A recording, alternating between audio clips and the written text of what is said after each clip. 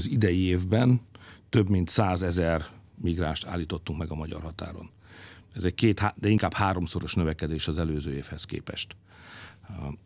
Most azért képzelje azt el, hogy az év 10, 10 és fél, 11 hónapja alatt a rendőrénk meg a katonáink megállítottak 100 ezer embert.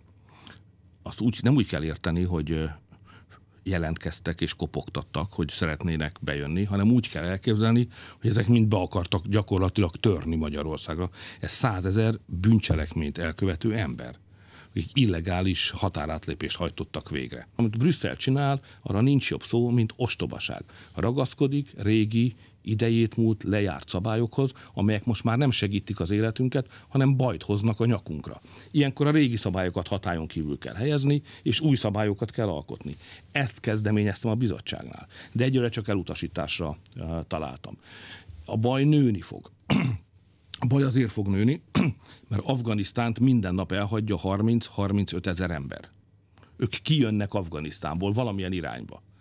De nem oda akarnak menni, ahova kijutnak Afganisztánból, hanem megindulnak Európa felé legnagyobb valószínűsége a balkáni útvonalon. Ezért arra kell készülnünk, hogy a következő hónapokban minden korábbinál nagyobb nyomás lesz Magyarország déli határán. Brüsszelnek is arra kell készülnie, hogy ez bekövetkezik, ezért abba kell hagyni azt, amit most csinál, hogy aki megvédi Európát, azt megbünteti. Nem megbüntetni kell bennünket, hanem ha már nem is jutalmaznak meg bennünket, legalább a költségeinket, vagy annak egy tisztességes részét fedezniük kellene.